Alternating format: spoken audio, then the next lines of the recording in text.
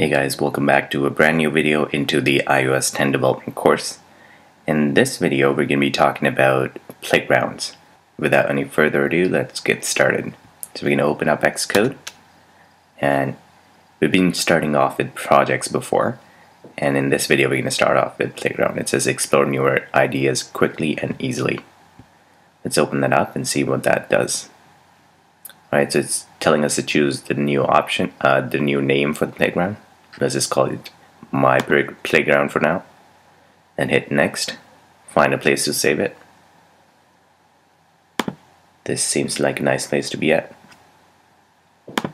Alright let's stretch it out so we can see what's going on. So right now on the top it says running and launching all of the stuff. Playground is basically something that tells us that gives us live feedback of our code so we don't have to run the simulator every time we want to see what our code does. And in general, if you see, this is the main area where we write our code. Hopefully you guys are familiar with all the information that's written on the screen right now. On the right here is where you see the immediate response to whatever the code you've written. And any kind of variables and stuff that you declare here the results are going to be given right up here. And the results in, in terms of saving it in the memory. So whenever you save any kind of variable in the memory, you'll see it actually happening right here. And the actual result of the code that you want the computer to do would be given right underneath here. Alright, let's see how it will look like once the launching is done. Alright, so everything is ready. Now, as you guys can see, once we have set the variable called str, which has the value of a string in it called hello world, I'm sorry, hello playground, we can see the value being stored right here, and the actual result should appear here. The result is basically nothing. Let's just print the result.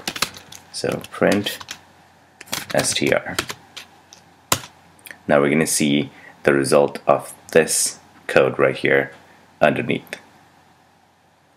And as you, if you guys notice, this print, when it's saved into the memory, has the backslash n appended at the end.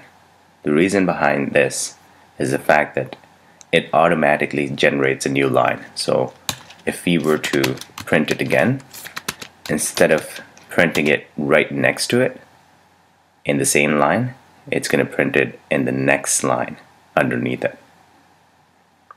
Alrighty, so that's basically all the information that you need to know about the playground where you can see the actual reality of your code happening. And as soon as you write the code you'll see the actual results right here. Right and from next video onwards, we're going to get into variables and a whole bunch of different things. So stay tuned for that.